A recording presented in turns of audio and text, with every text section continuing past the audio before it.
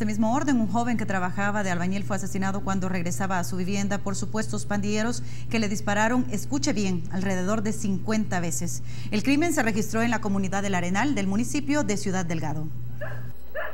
José Alonso Mejía, de 22 años, es el nombre de la víctima. Y en la escena del crimen registrado en la calle El Arenal de Ciudad Delgado, la fiscalía encontró casquillos de tres armas de fuego. Son múltiples los disparos que tienen, son alrededor de, de 40, 50 disparos. Cráneo, tórax, miembros inferiores y superiores. El joven no era pandillero y por el contrario estaba trabajando de pegar a lejos en una vivienda lejos de su colonia y aparentemente esto habría sido el motivo para que los mareros lo asesinaran.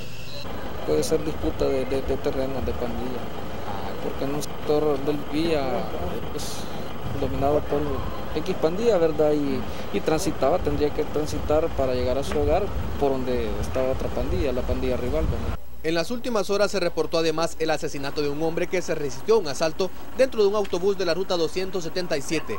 El crimen se dio frente al hospital del municipio de Chalchuapa. Para Teleprensa, Canal 33, Armando Butilla.